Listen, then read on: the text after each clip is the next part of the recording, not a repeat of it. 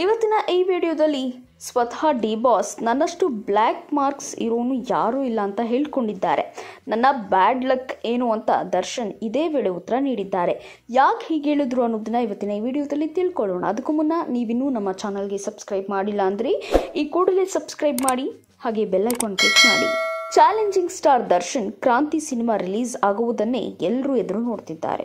Robert ಬಳಿಕ ದರ್ಶನ್ ಹೊಸ cinema box ಆಫೀಸ್ನಲ್ಲಿ ಯಾವ ಮಟ್ಟಿಗೆ ಕ್ರಾಂತಿ ಮಾಡಬಹುದು ಅನ್ನೋದು ಎಲ್ಲರ ನಿರೀಕ್ಷೆ ಇದೆ. ಮೊದಲೇ ಹೇಳಿದ ಹಾಗೆ ದರ್ಶನ್ ಪ್ರತಿಯೊಂದು ಯೂಟ್ಯೂಬ್ ಚಾನೆಲ್ಗೂ ಸಂದರ್ಶನ ನೀಡ್ತಿದ್ದಾರೆ.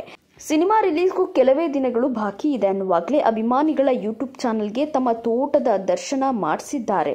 ಹೊಸ ಸಿನಿಮಾ ರಿಲೀಸ್ಗೆ ರೆಡಿಯಾಗಿದ್ರೂ ದರ್ಶನ್ ಸಂಕ್ರಾಂತಿ ಹಬ್ಬದ ಆಚರಣೆಯನ್ನ ಮಾತ್ರ ನಿಲ್ಲಿಸೋದಿಲ್ಲ ಈ ಹಬ್ಬದ ಸಂದರ್ಶನದ ವೇಳೆನೇ ದರ್ಶನ್ ಅಭಿಮಾನಿಗಳ ಯೂಟ್ಯೂಬ್ ಚಾನೆಲ್ ತೂಗುದೀಪ ಡೈನೆಸ್ಟಿಯಲ್ಲಿ ತೋಟ ಹಾಗೂ ಅಲ್ಲಿರುವ ಪ್ರಾಣಿ ಪಕ್ಷಿಗಳ ಪರಿಚಯಿಸಿದ್ದಾರೆ. ಜೊತೆಗೆ ಬ್ಲ್ಯಾಕ್ ಮಾರ್ಕ್ ಬಗ್ಗೆಯೂ ಮಾತನಾಡಿದ್ದಾರೆ.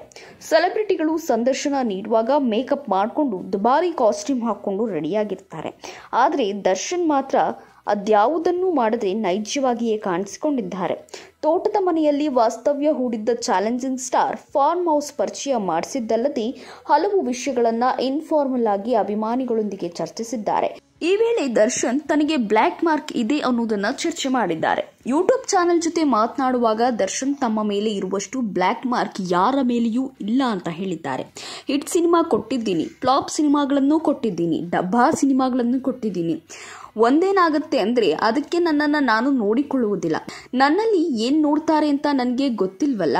ಆಮೇಲೆ ನನ್ನಷ್ಟು ಬ್ಲ್ಯಾಕ್ ಮಾರ್ಕ್ ಇರೋನು ಯಾರೂ ಇಲ್ಲ. ಇದ್ದಾರೆ ಸುಮಾರು ಜನ. ನನ್ನಷ್ಟು ಬ್ಲ್ಯಾಕ್ ಮಾರ್ಕ್ ಇರೋರು ಯಾರೂ ಇಲ್ಲ. ಅದು ನನ್ನ ಬ್ಯಾಡ್ ಲಕ್ ಏನೋ ನನಗೆ ಗೊತ್ತಿಲ್ಲ ಇದು ದರ್ಶನ್ ಈ ಸಂದರ್ಶನದ ವೇಳೆ ಹೇಳಿದ್ದಾರೆ. ಒಂದೇನಂದ್ರೆ, ಸೆಲೆಬ್ರಿಟಿಗಳು ಹಾಗೂ ನನ್ನ ನಡುವೆ ಫಿಲ್ಟರ್ ಇಲ್ಲ. ನಾನು ಹೆಂಗಿದ್ದೀನೋ ಹಂಗೆ ನೋಡೋದಕ್ಕೆ ಇಷ್ಟಪಡ್ತಾರೆ. ಇದನ್ನೇ ಸಂದರ್ಶನ ಅಂತ ಮಾಡಿದ್ರೆ ನಾನು ಎದ್ದು ಸ್ನಾನ ಮಾಡಿ ಕ್ಲೀನಾಗಿ ಬ್ರಷ್ ಮಾಡಿ ಬರಬೇಕಿತ್ತು. ಈಗ ನೋಡಿ, ನಾನು ಬ್ರಷ್ ಕೂಡ ಮಾಡಿಲ್ಲ ಎಂದು ಅಭಿಮಾನಿಗಳ ಯೂಟ್ಯೂಬ್ ಚಾನಲ್ಗೆ ವಿಶೇಷ ಸಂದರ್ಶನ ನೀಡಿದ ವೇಳೆ ದರ್ಶನ್ ಇನ್ಫಾರ್ಮಲ್ ಆಗಿ ಮಾತನಾಡಿದ್ದಾರೆ. ಹೇಳಿದ್ದಾರೆ